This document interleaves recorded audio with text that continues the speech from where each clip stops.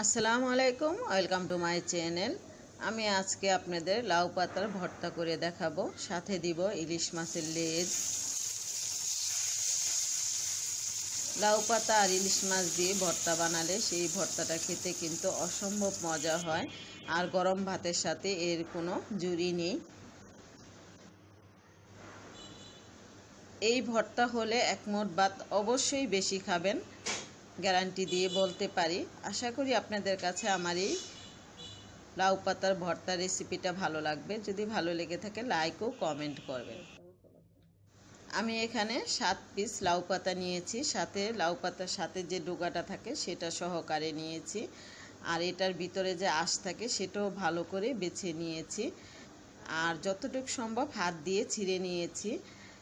এখন এটা আমি ভালো করে ধুয়ে তারপরে একটা কড়াইয়ের ভিতরে দিয়ে দেব সিদ্ধ হওয়ার জন্য।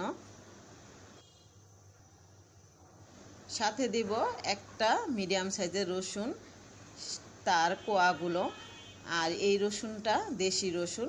এখানে দিয়ে দিলাম আমি তিনটা পেঁয়াজ কিউব করে কেটে, সাথে দিয়ে দিলাম সাতটা কাঁচামরিচ, আর স্বাদ অনুযায়ী লবণ।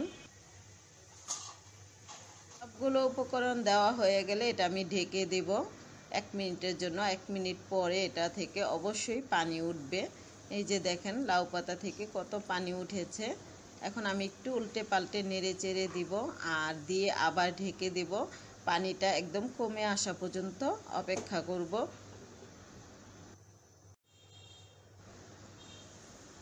কিছুক্ষণ পর লাউ পাতা থেকে কিন্তু পুরোপুরি পানিটা টেনে নিয়েছে, দেখেন। এ পর্যায়ে আবার একটু নেড়ে চেড়ে দিব। আর নেড়ে চেড়ে লাউ পাতায় যে অবশিষ্ট পানি আছে, সেই পানিটা আমি শুকিয়ে নেব। একটু টেলে নেব। আর এইভাবে করে টেলে নিলে পাতার ভিতরে কিন্তু পানিটা একদম শুকিয়ে যাবে। এখন আমি এখানে দিয়ে দিব ধনে পাতা। এটা যার যা স্বাদ অনুযায়ী দিয়ে দিবেন, কতটুকু কে দিবেন। আর ধনে পাতাটা দিয়েও একসাথে আমি টেলে নেব। ধনে পাতার ভিতরে কিন্তু পানি থাকে। পানিটা পুরোপুরি শুকিয়ে নেওয়ার চেষ্টা করছি। আমার লাউ পাতা ভাজাটা হয়ে গেছে। এখন আমি এটা নামিয়ে নেব।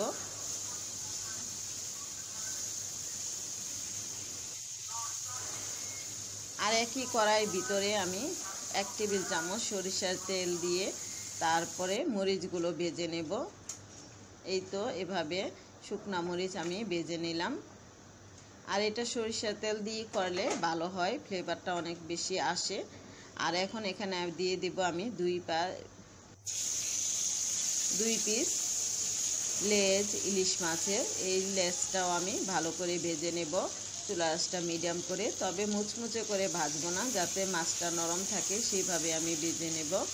উল্টে পাল্টে।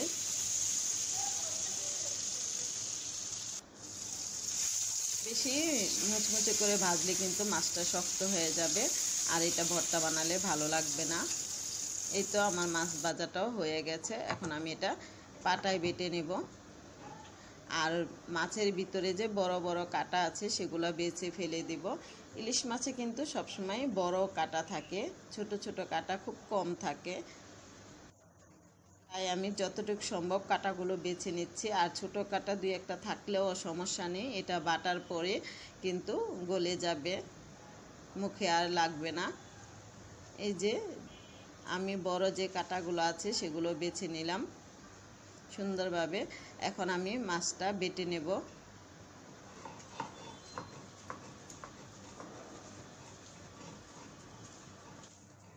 মাছটা একটু মিহি করেই বেটে নিব যাতে ছোট ছোট কাটা থাকে, সেগুলো যাতে বাটা হয়ে যায় সেজন্য।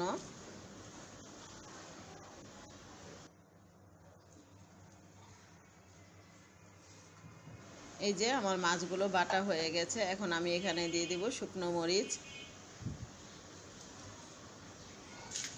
এখানে আমি চারটা শুকনো মরিচ দিয়ে দিলাম, ঝালটা যার যার পছন্দ অনুযায়ী দিয়ে নেবেন। কে কীরকম জাল খান, সে অনুযায়ী। মরিচটা বাটা হয়ে গেলে আমি যে এখানে সিদ্ধ করে রেখেছিলাম, লাউ পাতার সাথে পেঁয়াজ, মরিচ, সেগুলো একসাথে বেটে নেব। এভাবে বেটে নিলেই কিন্তু ভর্তা বানানোটা রেডি হয়ে যাবে।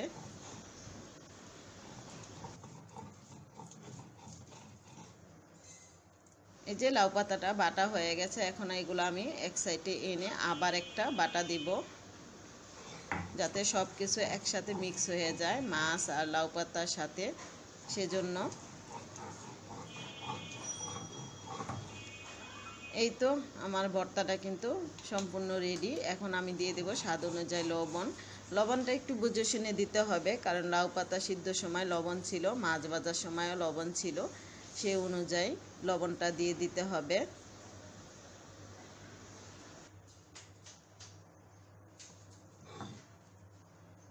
এখন সবগুলো ভর্তা একসাথে করে তারপরে একটু হাত দিয়ে মাখিয়ে নিলেই হয়ে যাবে লাউ পাতার ভর্তা। এই যে এইভাবে একটু উল্টে পাল্টে দিলে সব কিছু মিক্স হবে ভালোভাবে। এখন আমি একটা লাউ পাতার উপরেই ভর্তাগুলো উঠিয়ে নিচ্ছি। আর আমি গ্যারান্টি দিয়ে বলতে পারি, এই লাউ পাতার ভর্তা দিয়ে ভাত খেলে ভাত অবশ্যই বেশি একটু রান্না করবেন। কারণ এই ভর্তাটা খেতে অসম্ভব মজা। আমি আগে কখনো খাইনি, এই প্রথমেই খেলাম আর খেয়ে এটার প্রতি আমার অনেক বেশি লোভ হয়ে গেল। তাই আপনাদের সাথে শেয়ার করা। আশা করি আপনাদের কাছে আমার এই ভর্তা রেসিপিটা ভালো লাগবে। যদি ভালো লেগে থাকে লাইক ও কমেন্ট করবেন আর আমার চ্যানেলকে সাবস্ক্রাইব করে আমাকে পাশে থাকা সুযোগ করে দিবেন। পাশে থাকা বেলাইকনটা ক্লিক করবেন। এতে করে আমার রেসিপিগুলো দেওয়ার সাথে সাথে আপনার